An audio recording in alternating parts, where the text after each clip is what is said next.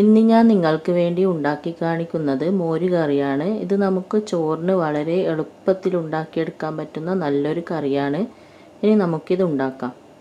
അതിനു മുമ്പായിട്ട് നിങ്ങൾ എന്റെ ചാനൽ ഇതുവരെ സബ്സ്ക്രൈബ് ചെയ്തിട്ടില്ല എങ്കിൽ താഴെ കാണുന്ന റെഡ് സബ്സ്ക്രൈബ് ബട്ടൺ ഒന്ന് ക്ലിക്ക് ചെയ്യുക.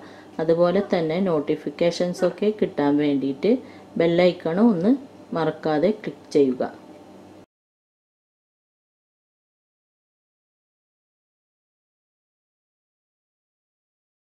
മോര് കറി ഉണ്ടാക്കാൻ വേണ്ടി ആദ്യം നമുക്ക് ഈ തൈരൊന്ന് മിക്സ് ചെയ്തെടുക്കാം.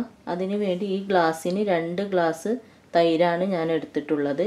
ഇനി ഇതിലേക്ക് ഒരു ഗ്ലാസ് വെള്ളവും കൂടി അതിലേക്ക് ഒഴിച്ചു കൊടുക്കാം. രണ്ട് ഗ്ലാസ് തൈര് എടുക്കുന്ന സമയത്ത് ഒരു ഗ്ലാസ് വെള്ളം ഒഴിച്ചു കൊടുക്കുക. പിന്നെ നമ്മൾ നാട്ടിലത്തെ പാക്കറ്റിൽ കിട്ടുന്ന തൈരൊക്കെ ആണെങ്കിൽ വെള്ളം ഒഴിച്ചു കൊടുക്കേണ്ട ആവശ്യമില്ല. ഒന്ന് മിക്സിയിലിട്ട് അടിച്ച് ഒഴിച്ചാൽ മാത്രം മതി. ഇനി ഇത് നല്ലോണം ഒന്ന് മിക്സ് ചെയ്യാം. തൈര് നല്ലോണം മിക്സ് ചെയ്ത് ഇതിലെ കട്ടകളെല്ലാം ഒടിച്ചെടുത്തിട്ടുണ്ട്. ഇനി നമുക്കിത് കറി ഉണ്ടാക്കാം. കറി ഉണ്ടാക്കാൻ വേണ്ടി ഒരു പാൻ അടുപ്പിൽ വെച്ച് ചൂടാക്കിയിട്ടുണ്ട്. അതിലേക്ക് രണ്ട് ടേബിൾ സ്പൂണോളം വെളിച്ചെണ്ണ ഒഴിച്ചു കൊടുക്കാം.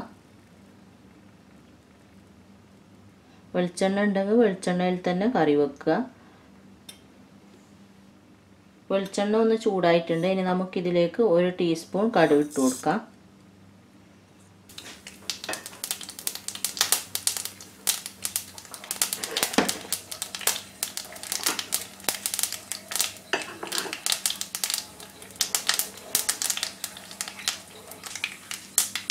കടുക് പൊട്ടിക്കഴിയാനാകുമ്പോൾ ഒരു കാൽ ടീസ്പൂൺ ഉലുവ ഇട്ട് കൊടുക്കാം.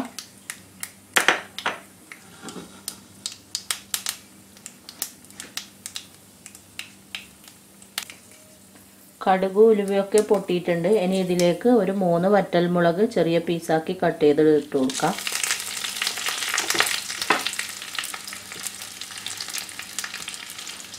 ഒന്ന് ഇളക്കി കൊടുക്കുക.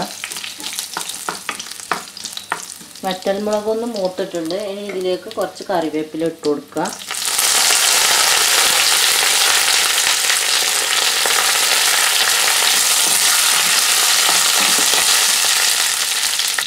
ഇനി ഒരു ചെറിയ സവാള ചെറുതായി അരിഞ്ഞത് ഇട്ട് കൊടുക്കുക. ഒരു ചെറിയ കഷ്ണം ഇഞ്ചി ചതച്ചതും രണ്ടല്ലി വെളുത്തുള്ളി ചതച്ചതും. വെളുത്തുള്ളി വേണമെങ്കിൽ ഇട്ട് കൊടുത്താൽ മതി നിർബന്ധമില്ല. പിന്നെ ഒരു രണ്ട് പച്ചമുളക് കുറച്ച് ചെറുതാക്കി അരിഞ്ഞത് കൂടി ഇട്ട് കൊടുക്കാം നല്ലോണം ഒന്ന് വഴറ്റി കൊടുക്കുക. ഉള്ളി പെട്ടെന്ന് വയന്ന് കിട്ടാൻ വേണ്ടി കുറച്ച് ഉപ്പിട്ട് കൊടുക്കാം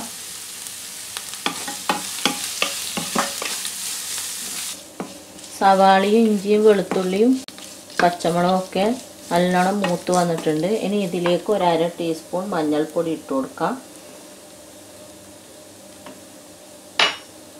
ഒന്ന് മിക്സ് ചെയ്യാം. മഞ്ഞൾപ്പൊടി ഇട്ട് നന്നായി വഴറ്റിയിട്ടുണ്ട്. മഞ്ഞൾപ്പൊടിന്റെ പച്ചമണമൊക്കെ മാറിയിട്ടുണ്ട്. ഇനി ഇതിലേക്ക് ഒരു തക്കാളിന്റെ പകുതി തക്കാളി ചെറുതായി അരിഞ്ഞത് ഇട്ട് കൊടുക്കാം. ഇതും കൂടി നല്ലോണം ഒന്ന് വഴറ്റി കൊടുക്കുക. തക്കാളി ഒന്ന് വെന്ത് സോഫ്റ്റായി വരണം. തക്കാളി ഒന്ന് വെന്ത് കിട്ടാൻ വേണ്ടിയിട്ട് നമുക്കിതൊരു രണ്ട് മൂന്ന് മിനിറ്റ് അടച്ചു വെക്കാം. തക്കാളി വേകാൻ വെച്ചിട്ട് രണ്ട് മിനിറ്റ് ആയിട്ടുണ്ട്. ഇനി നമുക്കിതൊന്ന് തുറന്നു നോക്കാം. ഇടയ്ക്ക് ഞാനൊന്ന് ഇളക്കിയിട്ട് കൊടുത്തിട്ടുണ്ടായിരുന്നു. ഇപ്പോൾ ഇത് നല്ലോണം ഒന്ന് വെന്തിട്ടുണ്ട്. തക്കാളിയൊക്കെ വേവാൻ വെക്കുന്ന സമയത്ത് തീയൊന്ന് നല്ലോണം കുറച്ച് വെക്കുക. തീ കൂട്ടി വെക്കരുത്.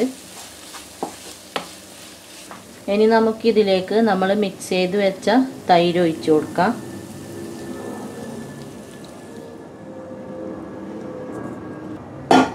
നല്ലോണം ഒന്ന് മിക്സ് ചെയ്ത് കൊടുക്കുക. തൈര് ഒഴിച്ച് കഴിഞ്ഞ് ചെറിയൊരു ചൂട് തൈരിന് വരുമ്പോഴത്തേക്ക് അടുപ്പൊന്ന് ഓഫ് ചെയ്യണം. തിളക്കാനൊന്നും പാടില്ല. തൈര് പിരിഞ്ഞു പോവും. ഇനി നമുക്ക് അടുപ്പ് ഓഫ് ചെയ്യാം. ഉപ്പൊക്കെ നോക്കിയിട്ട് ഇട്ട് കൊടുക്കുക. ഉപ്പ് കുറവാണ്. ഞാൻ കുറച്ചും കൂടി ഉപ്പ് ഇട്ട് കൊടുക്കുന്നുണ്ട്. ഇനി ഇത് അടുപ്പിൽ നിന്ന് ഇറക്കി വെക്കാം. അല്ലെങ്കിൽ പെട്ടെന്ന് അടുപ്പിന്റെ ചൂടുകൊണ്ട് കറി പിരിഞ്ഞു പോകും ഇനി നമുക്കിതൊരു സർവിങ് പ്ലേറ്റിലേക്ക് മാറ്റാം.